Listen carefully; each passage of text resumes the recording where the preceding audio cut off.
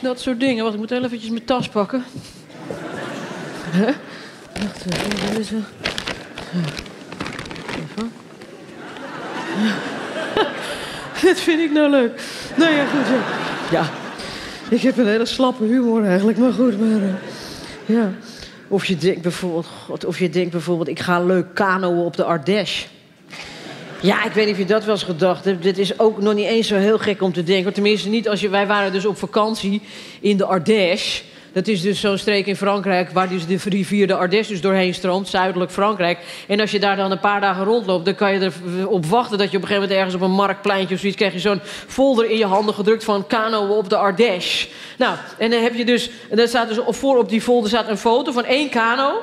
Oh ja, ja, nou ja. Op, de, ja, op dat stukje uh, Ardèche, weet je, met die hoge rotswanden zo, weet je wel, van dat hele beroemde, de, de, de Gorge de l'Ardèche, weet je. Zo één kano in, zo in de volle zon op zo'n heldere, snel stromende rivier, weet je, tussen die rotswanden door. Die meters hoge, tien, hoe heet het, 100 meter hoge rotswanden. Nou, dus, dan zie je dat zo. Dus het is helemaal niet zo gek dat je dan denkt, nou god, laten we ook eens, uh, ja, je hebt een paar keer twee kinderen bij je. Je denkt, je moet eens actie ondernemen in zo'n vakantie, anders liggen we de hele vakantie uit te dijen, laten we eens wat doen. En dan denk je van tevoren, nou ja, je gaat een stukje peddelen, je stroomt toch met het water mee. Je neemt een picknickmand mee en je wordt aan het eind weer opgehaald. Gezellig, weet je wel. Dat, dat denk je van tevoren. Heel onnozel eigenlijk, achteraf. En, ja, en puntje bij paaltje vind je jezelf terug op een of ander lauw pisscheultje. Ja, ja. Met, ja, die hele Ardèche die stroomt helemaal niet zomers. Nee, ik weet niet wanneer ze die foto hebben genomen, maar zomers zit er geen water in. Dus je vindt jezelf terug op een lauw pisscheultje met ongeveer 3 miljoen andere Nederlanders in kano's. Ja, en dan, en dan, en dan moet je ook nog zo'n plakkerig zwemvest aan van uh, drie seizoenen angst, angst weet van andere mensen, weet je. Met zo'n stomme helm op je kop, stond ook niet op die foto. En dan blijkt je uh, 38 kilometer te moeten kanoën. Dat wist ik ook niet. Ja, mensen, dat wist ik ook niet.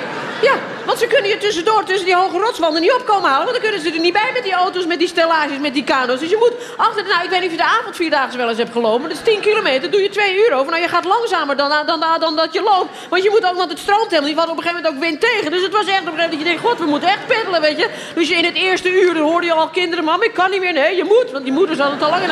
Ja, want je moet wel het eindpunt halen, want anders drijf je af naar de Middellandse Zee en dan vinden ze je nooit meer terug. Nee, echt serieus. Als ze al weg zijn, ben je verloren als je te laat bent of weet ik veel wat. Dus dit was echt, we dachten, god, het is echt, we moeten echt aan de slag. En dan moet je af en toe ook door een stroomversnelling. Nou, dat is een heel groot woord voor één punt, waar al die kano's erheen moeten. Ja, mensen, dit zie je al van tevoren al aankomen. Zie je allemaal van die kanopunten omhoog steken met peddels en zo. Op, en dan, moet je, dan, dan kom je eraan en dan moet je op hoop van zegen. Ja, je moet er toch doorheen. Het versnelt helemaal niet, maar goed, je moet er toch door. Het verlangzaamt alleen maar. Maar goed, en dan ga je erdoor en dan raak je helemaal ook nog helemaal, weet je, door zes kano's door de mangel gehaald. Aan de andere kant komt er helemaal butsen en schram en half verzopen en boerend en windend kom je eruit. En, ja, serieus.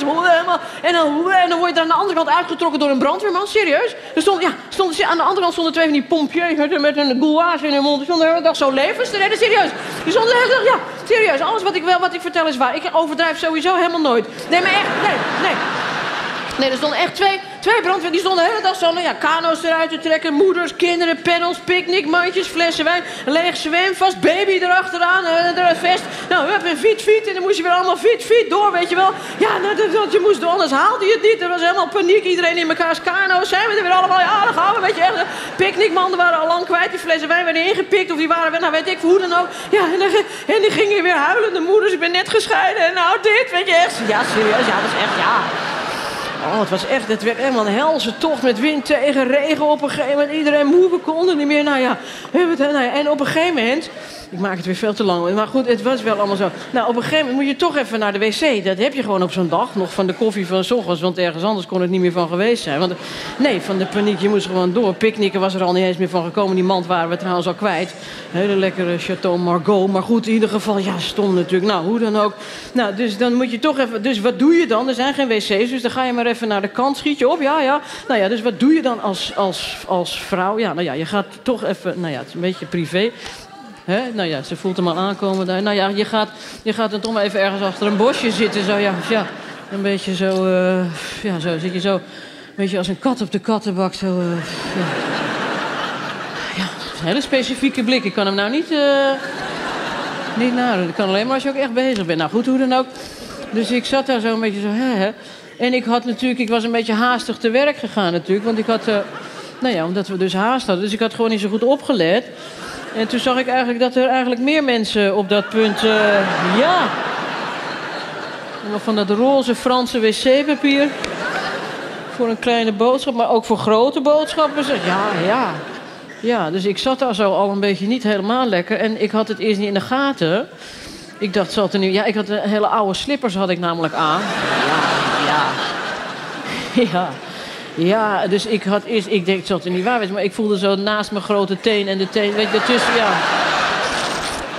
Echt een beetje zoiets lauws omhoog kringelen. Ja! Ik denk, als ik niet kijk, is het ook niet waar. Maar ja, het was... Ja.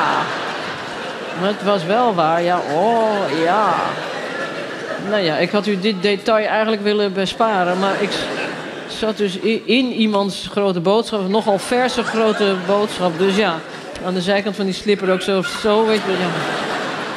Ja, dus, ja, ik had u dit eigenlijk, nou ja, goed. Dus dat wou ik eigenlijk maar zeggen. Dus toen ik daar zo zat, zo, toen dacht ik, ja, dit is inderdaad weer typisch zo'n moment waarop je realiseert dat dingen heel vaak, of eigenlijk altijd totaal anders uh, lopen dan dat je van tevoren. Ja, dus dat wou ik maar eventjes uh, aanschouwelijk maken. Sorry hoor. Ik wijd een beetje uit. Ja, God, ik zie het altijd allemaal nog. Nou ja, goed. Dus dat heb je. Ja, ja. Ik zie het allemaal weer te veel voor me nog. Ik, ik ben maar een beetje in die rivier gaan staan, zo een beetje, een beetje zo, weet je Ja, een beetje zo. En dan moet je weer in die kano, zo, weet je, ja. Waarvan je ook niet wil weten wat er nog voor pleisters en zweren en velletjes in rond uh, dweilen en stukjes uh, luier of weet ik veel wat. Nou ja, goed, hoe dan ook. Nou ja, we hebben het gehaald. Vraag niet hoe. We hebben drie dagen zo gelopen. We konden helemaal niet meer eten. Nou ja, goed. Maar dat wou ik, maar dat wou ik dus maar zeggen.